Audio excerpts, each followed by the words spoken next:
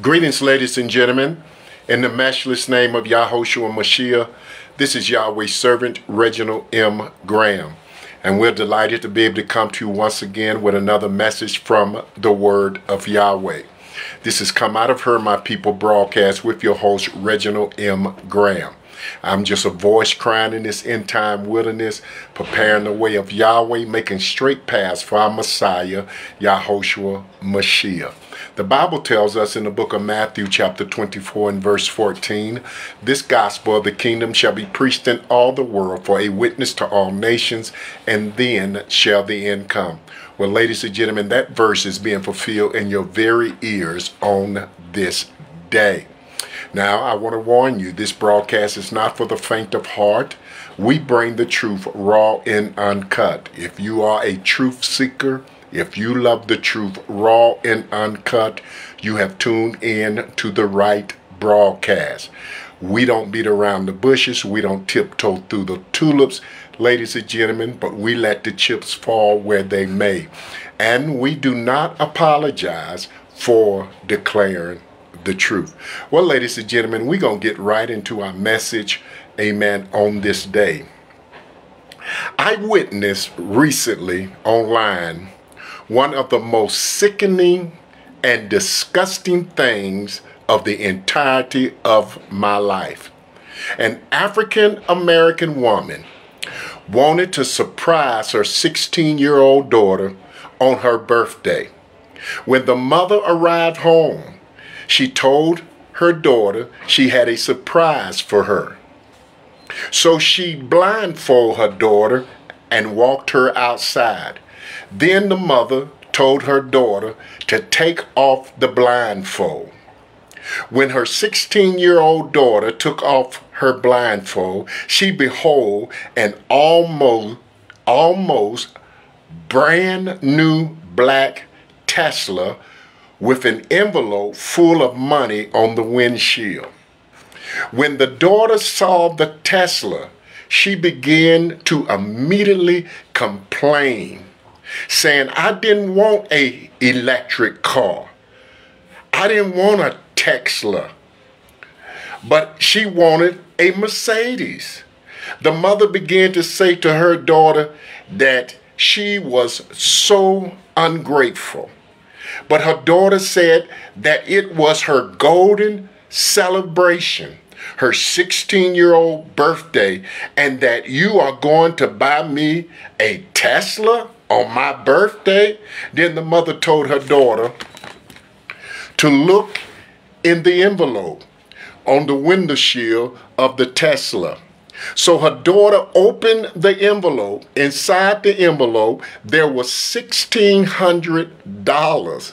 And the daughter said, Is this all you are going to give me on my 16 year old birthday? Only $1,600? What's wrong with you? And she dropped the money and said that she did not want the money or the Tesla and stormed into the house. Now, I'm not making this up, ladies and gentlemen. This is online. This literally happened recently. This Tesla was worth at least twenty-five to thirty thousand dollars, perhaps even more because it was in mint condition. You can see that this mother spoiled this monster. After her daughter behaved in this manner, she should have took the money and took the Tesla back to the car dealership where she purchased it.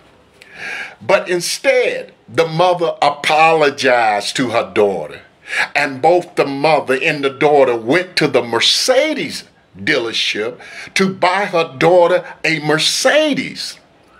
But the daughter wanted a 23 or a 22 Mercedes. But her mother said she would not buy her a 22 or a 2023 or 2022 Mercedes, but she would only buy her a 2019 or 18 Mercedes. And you know these vehicles are expensive, ladies and gentlemen. The daughter said that if she could not get the 23 or 22, she did not want any of the Mercedes. I never witnessed an African American youth that was so ungrateful and appreciative in the entirety of my life. I could not believe what I was beholding, ladies and gentlemen. It was extremely sickening and disgusting for me to witness. I blame the parent for this girl's behavior. You can see that this girl's mother ruined her, like so many parents have ruined their children. This is what happens when you spoil children and neglect disciplining and allowing children to control and, ma- and manipulate you. This is the byproduct. Today, children are out of control. And it's nobody's fault but their parents. Today, parents raise children like they are their brothers and sisters, ladies and gentlemen. Now, this situation that I shared with you with this uh, this ungrateful, unthankful 16 uh, girl, ladies and gentlemen, was a microcosm. This is happening all over the planet, especially in the West, ladies and gentlemen. Bless Yahweh for the truth. Today, children are out of control, and it's nobody's fault but their parents. Today, parents raise children like they are their brothers and sisters. That's what type of relationship they have. They have brother and sisters relationships. Matthew 7 in verse 17, Yahushua declared, Even so, every good tree bringeth forth good fruit, but a corrupt tree bringeth forth evil fruit. Ladies and gentlemen, praise Yahweh. Metaphorically, our children are our fruit. The state of the tree determines the state of the fruit. The apple don't fall too far away from the tree. A person's behavior reflects his character. Even a child's actions and conduct reveal what they are like. Proverbs 20 and verse 11 declares, Even a child is known by his doings, whether his work be pure and whether it be right. You can tell a lot about a child from their behavior and a lot about their parents as well. Why do you think most people today that are 45 and above have better work ethics, are more respectful, productive, disciplined, etc.? Because they were raised by the silent and baby boomer generations. These two generations disciplined their children. The old school generations, ladies and gentlemen, they discipline their children. These new school generations are very immature. I'm so grateful that I was uh, raised by old school parents, ladies and gentlemen. Now they, they didn't know Yahweh. Glory to Yahweh. We I wasn't raised in a uh, uh, a religious home, ladies and gentlemen. We we we went to church um, on Christmas, maybe Easter. Amen. That was about it. And I probably witnessed my dad going to church one time in the entirety of my life. But one thing I can tell you about my parents, they didn't have much knowledge about uh, Yahweh. But my parents did not believe in sparing the rod or may I say, extension cord. Ladies and gentlemen, they put it on us. Glory to Yahweh. They couldn't, amen. They, I tell you what, I appreciate that because they kept me from joining gangs. They kept me from getting on uh, a lot of drugs. They kept me from getting young girls pregnant, ladies and gentlemen. They kept me out of the jail. They kept me out of the grave. I didn't like it when they did discipline me, but I'm so grateful today for my parents. Amen. For the discipline that I received uh, from my parents, ladies and gentlemen. But, but these new school generations are very immature. The problem with our world, uh, with generational X, uh, um, the millennials, and, and, and generational Z, etc., ladies and gentlemen, the, the, the, these are immature, uh, very immature generations, ladies and gentlemen. Generation X, millennials. These new school generations are very immature. The problem with our world, you have adults with children minds, having children and raising children. Children are raising children today. You have adults, ladies and gentlemen, but they have childlike minds. 1 Corinthians 13 and 11 declares, When I was a child, I spake as a child, I thought as a child, I understood as a child, and when I became a man, I put away childish things. Ladies and gentlemen, most of these parents today have not put away childish things. They are children themselves. They think like children, ladies and gentlemen. Uh, they speak like children. They understand like children. They respond like children. They react like children. Every generation has become more immature. Every generation.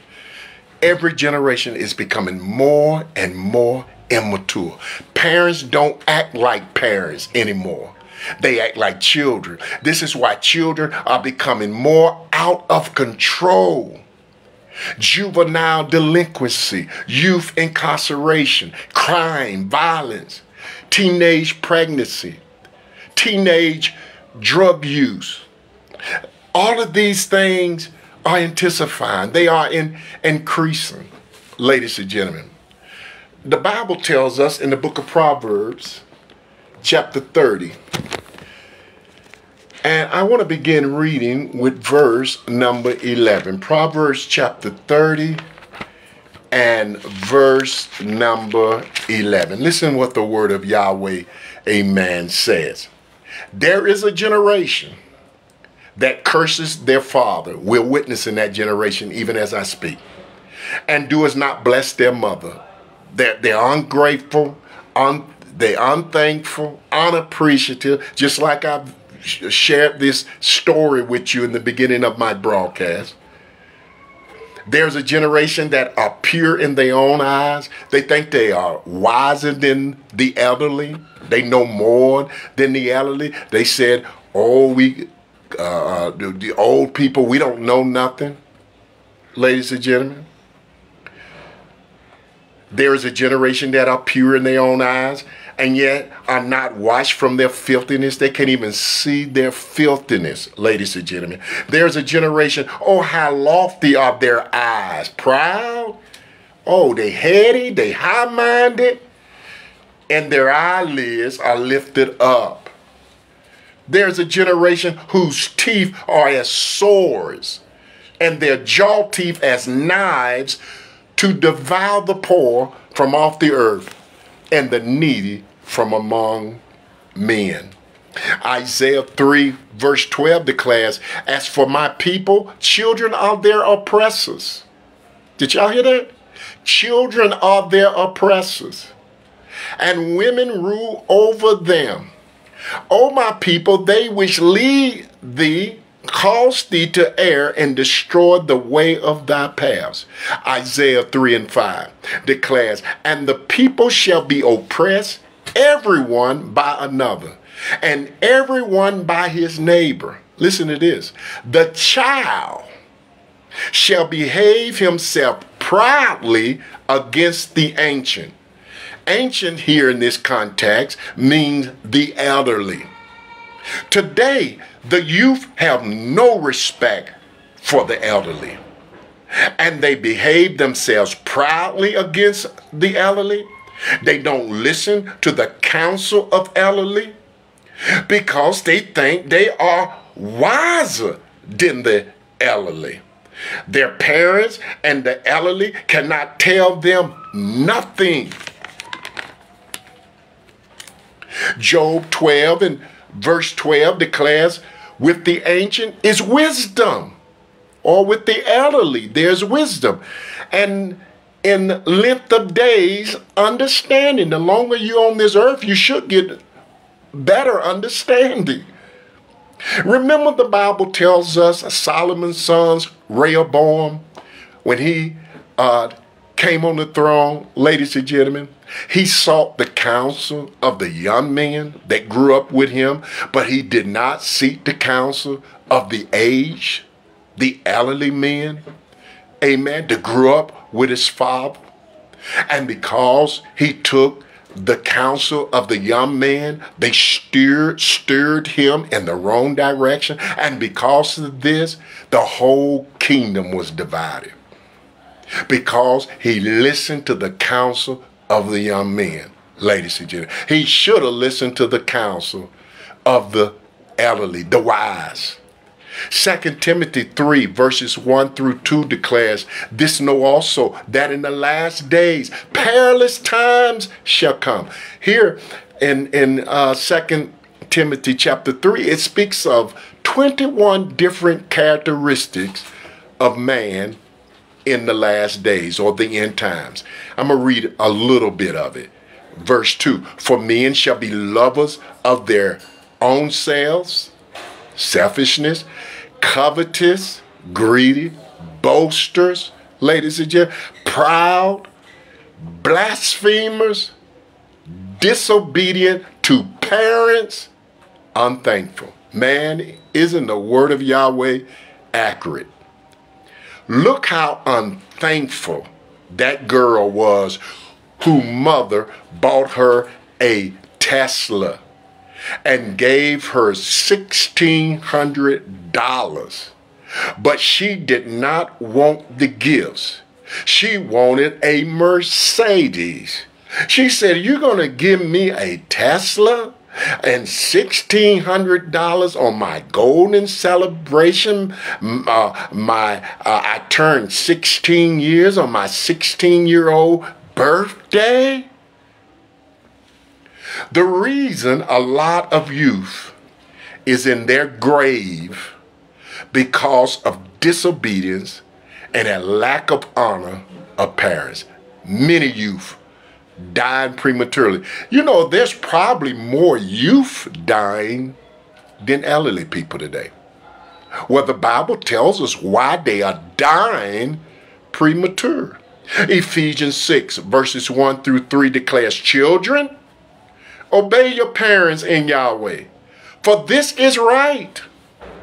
Honor thy father and mother, which is the first commandment with promise. This is the first commandment with promise. If you keep this commandment, Yahweh will promise you long life, that it may be well with thee, and thou mayest live long on the earth. Some wonder why these children dying in their youth, coming up dead, just falling dead, healthy children, just collapsing, ladies and gentlemen, falling dead on the basketball court, on the football field, ladies and gentlemen, wondering why. Ladies and gentlemen, you ever wonder why these children are disobedient to their parents and they don't honor and they don't respect their parents. Proverbs 29 and 15 declares, The rod and reproof give wisdom, but a child left to himself brings his mother to shame. Most children today are left alone to raise themselves. You must keep a watchful eye on children today. Just two minutes out of your presence, they can get themselves in a lot of mess. This is why a lot of young girls are getting pregnant. This is why children having sex at a young age. The children are neglected. Their parents leave them alone and let them raise themselves. They don't watch them. Ladies and gentlemen, you got to watch your children with their brothers and sisters. You have to keep an eye. You got to watch them like a hawk. You let them out of your presence, they can harm themselves. They can swallow poison. Ladies and gentlemen, they can be kidnapped. Amen. And they can get involved in perversion and drugs, gang activity. Glory to Yahweh. See, listen, I grew up in the 60s.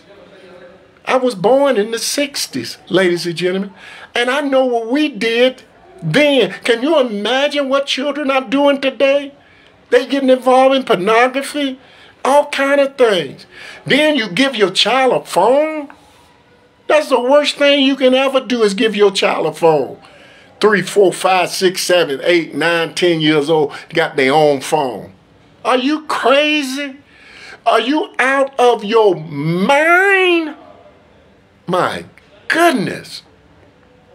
Second Kings chapter 2. We're going to see a scenario here where children were left by themselves. Their parents wasn't watching them. Ladies and gentlemen, their parents neglected their responsibilities.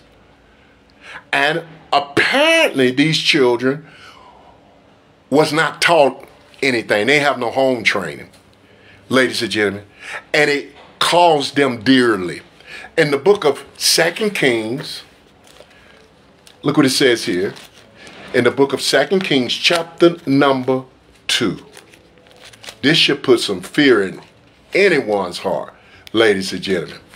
Second Kings chapter 2, and let me start with verse 23. Listen what it says. This is Elisha, and he went up from thence unto Bethel. And as he was going up by the way, there came forth little children. These were little children. I mean, these was children seven, six, five, eight, nine. Look at this. Little children it says, and there came forth little children out of the city. Where was their parents? How was these children able to leave the city without their parents knowing it?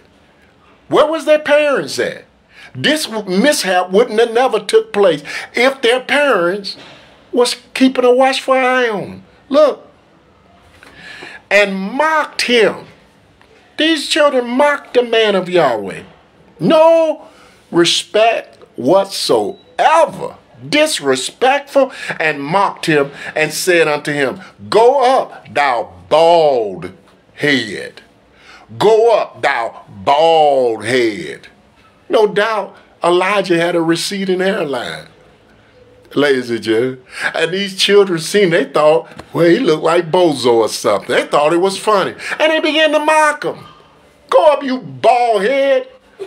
You bald head man, Mr. Smart, uh, Mr. Clean, go up. Now look at verse 24. And he turned back and looked on them and cursed them in the name of Yahweh. And there came forth two she bears, two she bears out of the wood and tear forty and two children of them. Tore them up. I mean, demolished them. Ladies and gentlemen, tore their limbs apart, tore their heads off. 42 children. I guarantee that was that was a sad, there was some sad funerals. But who can you blame? Who would you blame? the parents. The parents.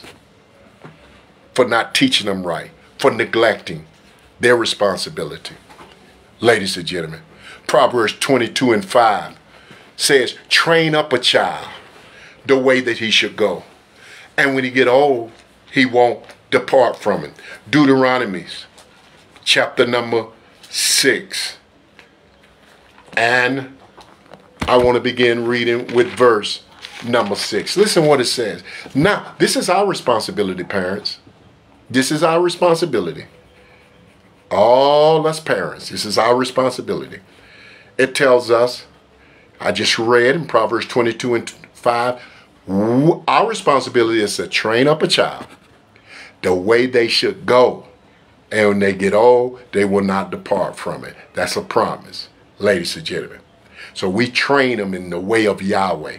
Train them up in the admonition, ladies and gentlemen, in the nurture of Yahweh. Okay, verse 6, it says, And these words which I command thee this day shall be in thine heart, Yahweh's commandments. And look what we are supposed to do with them.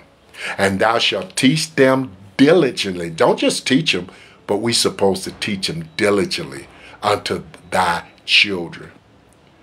You know, my daughter, she loves to write. And you know what I'm teaching her? You know what I'm teaching her? You like to write so much. So get the Bible and start writing word from word from the Bible. Write it on your little tablet, word from word, word from word. Listen, and thou shalt teach them diligently unto thy children, and and shall talk of them when thou sittest in thine house, the commandments of Yahweh. And when thou walkest by the way, when you go to the park, you're supposed to be talking about Yahweh. When you go to the grocery store, when you go to the mall, wherever you got to pay your bills or whatever, you doing your affairs during the day. And when thou lies down, when you get ready to go to bed, give them some scripture.